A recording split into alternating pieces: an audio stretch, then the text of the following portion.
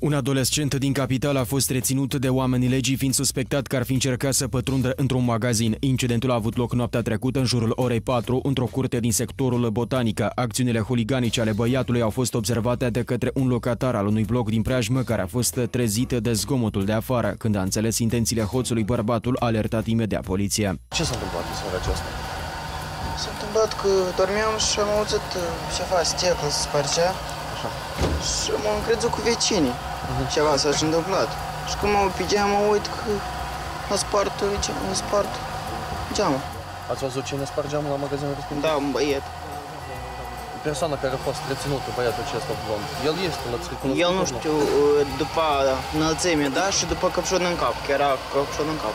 La scurt timp, la fața locului s-a deplasat un echipaj al batalionului de patrulare și reacționare operativă pentru a cerceta cazul. Când i-a văzut pe polițiști, individul s-a speriat și a încercat să fugă de la locul faptei, însă nu a ajuns prea departe, întrucât a fost prins de forțele de ordine.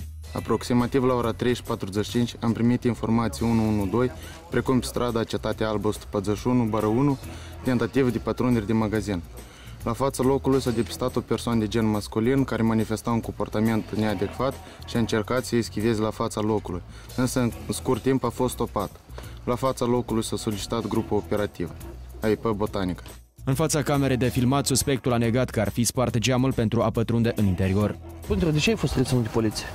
Nu știu. Dumneavoastră ați pătruns în magazinul acesta care se află peste drum. A, nu. Pentru ce care să pot în magazin? Dumneavoastră ați spart mă, geamul magazinului. Nu. Dar cine a stricat geamul? Bine să știu eu, domnul. Eram acolo la turnic, eu nu știu. La unde se află paralel respectiv? La val, dacă. Ce-ți mergi să vă arăt. Erați singur ori erați cu cineva? Eram singur.